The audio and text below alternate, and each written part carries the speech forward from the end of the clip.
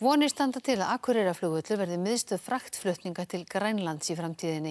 Starfsemi námafyrirtækja gæti leitt til aukina umsvifa sem úttemta sér útbúnar flugvilar. Norrlandir hefur flóið á milla Akureyrar og Grænlands en nýlega kefti félagið Twin Otter flugvila af Grænlandsflugi og greitti fyrir með hlutafið. Norrlandir flýgur með vistir og fólk á staði sem er ekki beinlínis í alfara leið.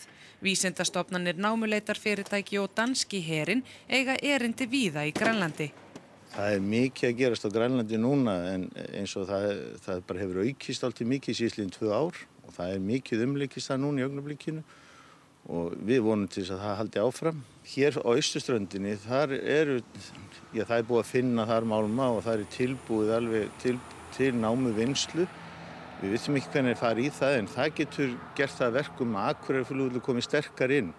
Því hér er miklu stittra að fara hérðan og það getur gert það verkum að Akureyri getur komið hér inn sem, já, við skulum segja fraktflutningar þarna uppið til. Tvinn óttervélar félagsins sem nú eru orðnar þrjár henda vel í flug og ekki hvað síst til lendinga í hrikalegum óbyggðum Grænlands.